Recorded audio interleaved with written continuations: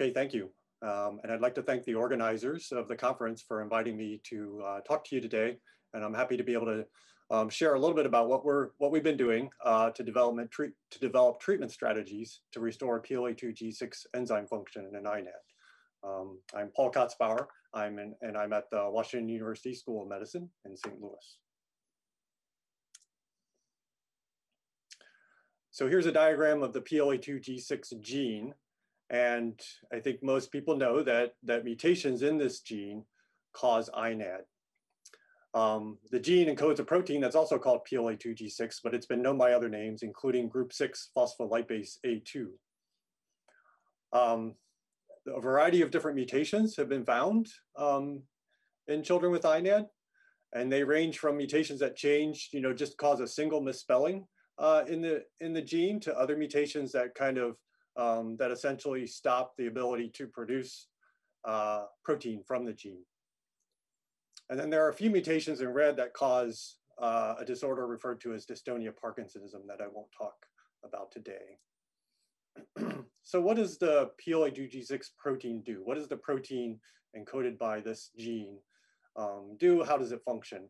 We've focused a fair amount of our effort on understanding that.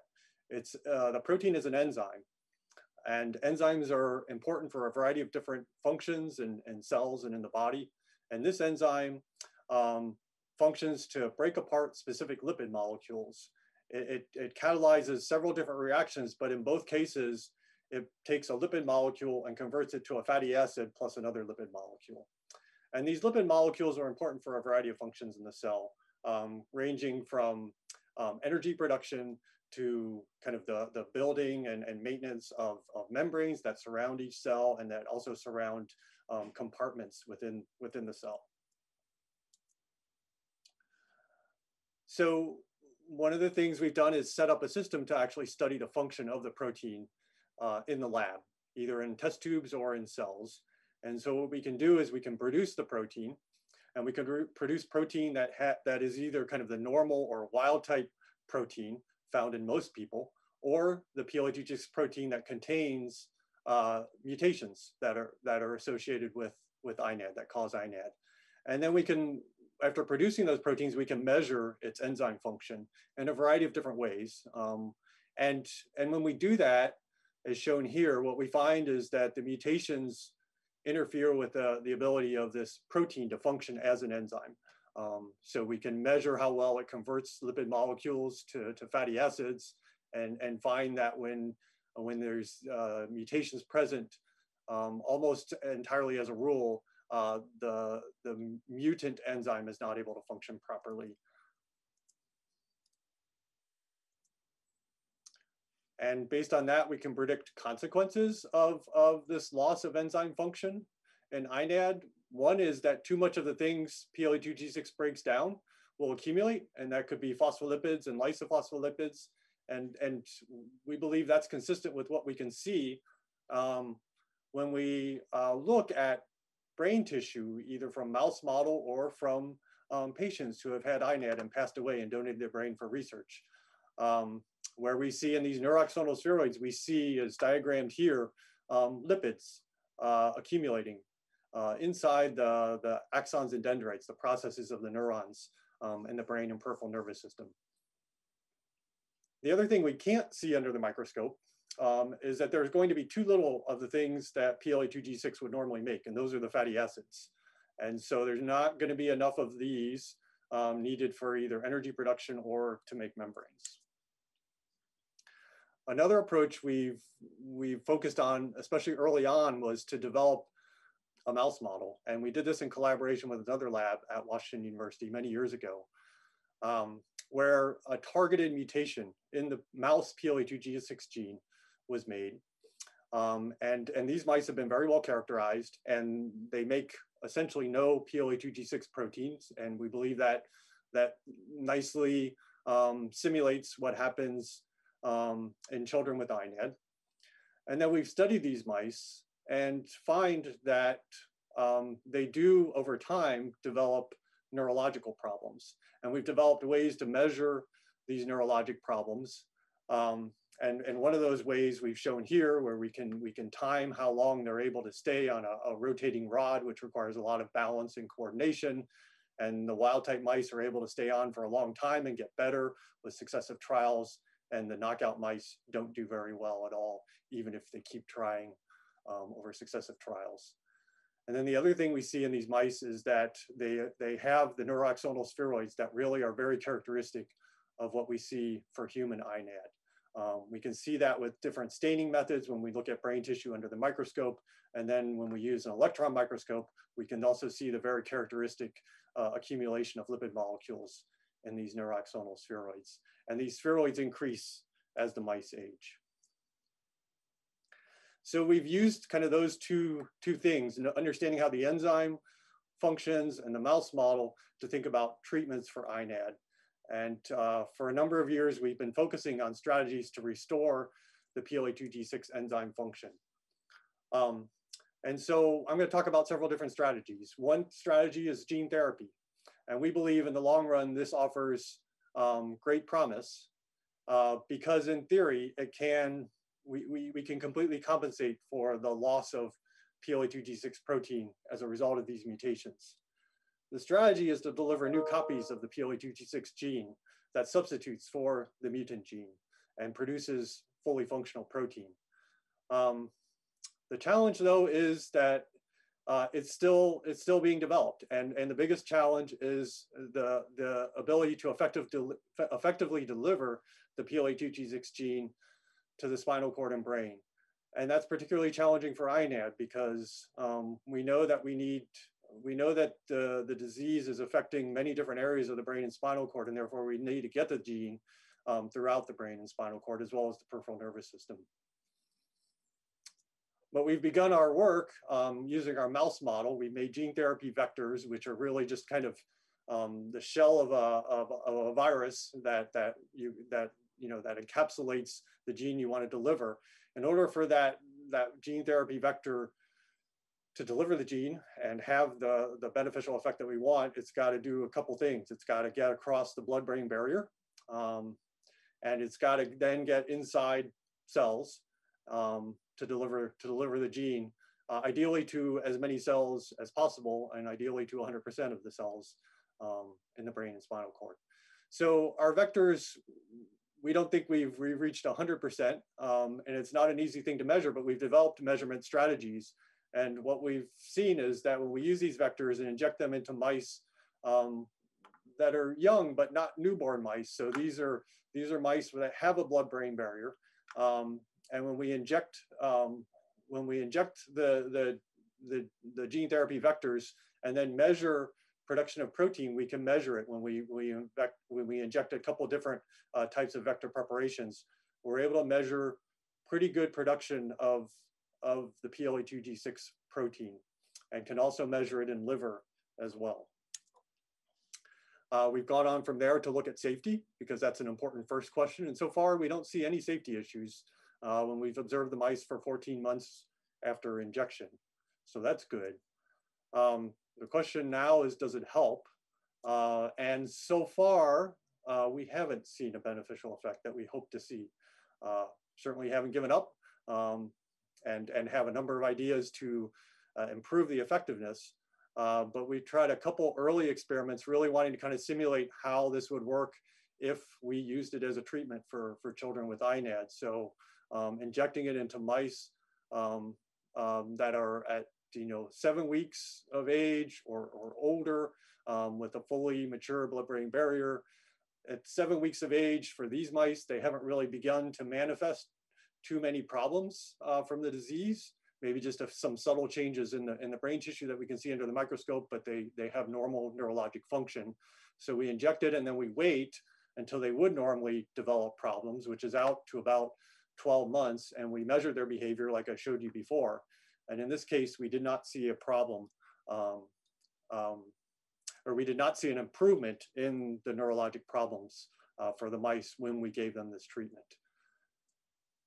Similarly, if we waited and injected them shortly before um, they begin to develop problems and then test them, again, we didn't see an improvement um, with in, in, this experiment with this particular strategy for delivering the gene therapy vectors.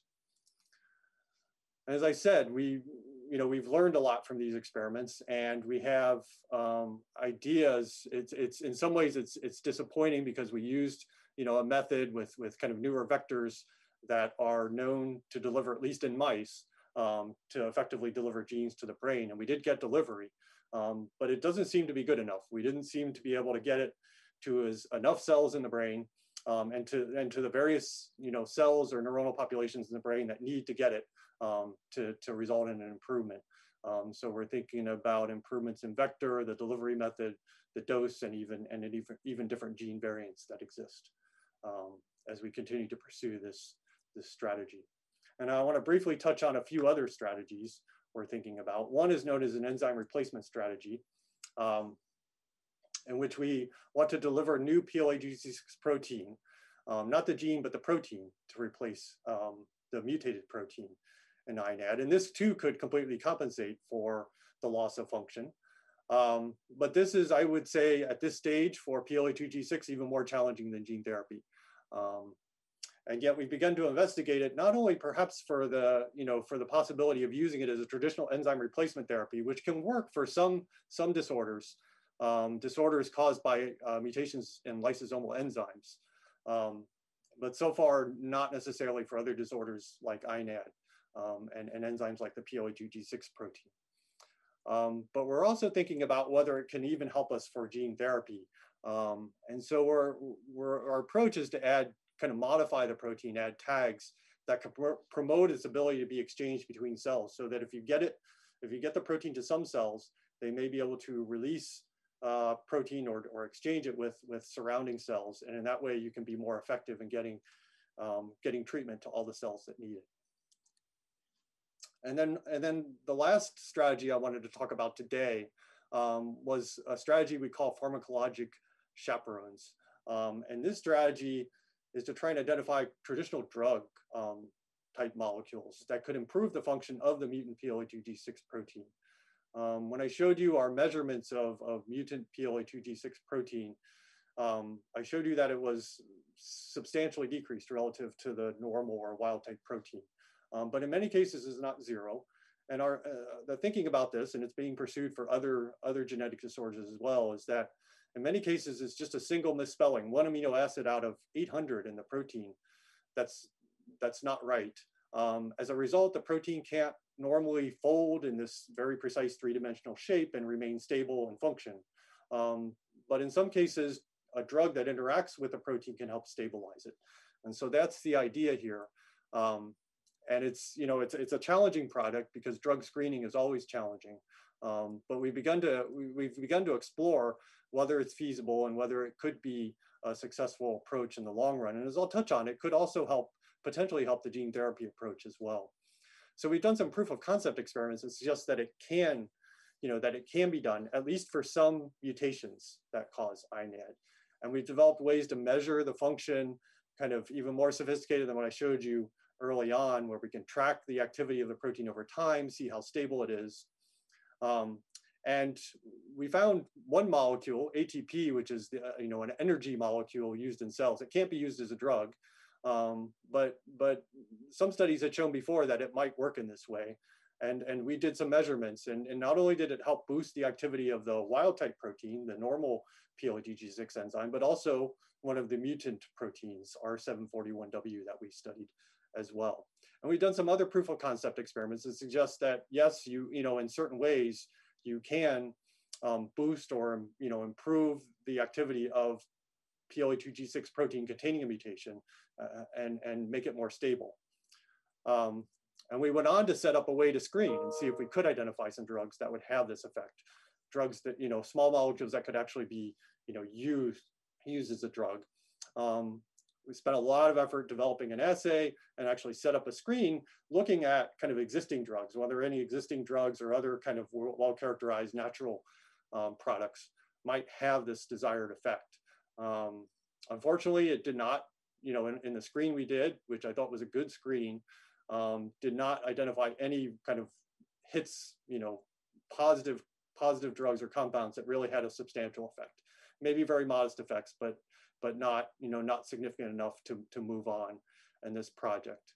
And we think for kind of further, you know, further efforts in this, you know, in this line um, have, have worked to develop kind of improved cell-based assays that we could use uh, for further screens. So just to, just to summarize, um, I told you that INAD is caused by loss of PLA2G6 enzyme function. Um, we're, we're using a mouse model and enzyme measurements to um, focus on developing strategies to restore the function of the PLA2G6 protein or enzyme as, as treatments for INAD. Um, and, and those strategies we're focusing on include um, gene therapy, where we can deliver a replacement gene to restore production of a uh, fully functional PLA2G6 enzyme. An enzyme replacement therapy, a strategy where we would modify the protein itself so that we could deliver the protein, or we, you know, we really are, are interested in the idea that this could help improve the gene therapy strategy if we deliver a modified version of the gene, which produces a modified version of the protein, that protein could then get exchanged and reach more cells uh, than we otherwise would reach with the gene therapy. And then finally, the pharmacological chaperone approach um, to improve mutant PLA2G6 enzyme function, or in this case also, you know, since we can potentially boost the, the, the function of the wild type protein that we might be delivering in gene therapy, could, could also improve the effectiveness of, of that approach. Um, so we think, you know, in combination, this is, um, this is a potentially effective approach to ultimately develop a treatment focusing you know, most on, on the gene therapy strategy, but recognizing that we still have work to do um, to, to translate this into an effective treatment. And then finally, I just want to want to acknowledge some people in my lab uh, that have worked on these uh, these projects over the years, uh, including Linda Wilmot, Rebecca Miller, uh, Todd Chakraborty, Shauna Budala, and Joanna Lowe. Other members of my lab, collaborators um, listed listed on the right, here, including Mark Sands, who's working with us on the gene therapy. And then finally, I wanted to acknowledge support um, over the years, support from the National Institute of Health and NBIA Disorders Association uh, with some of the kind of earlier strategies that we pursued that I haven't, uh, haven't had time to talk about today.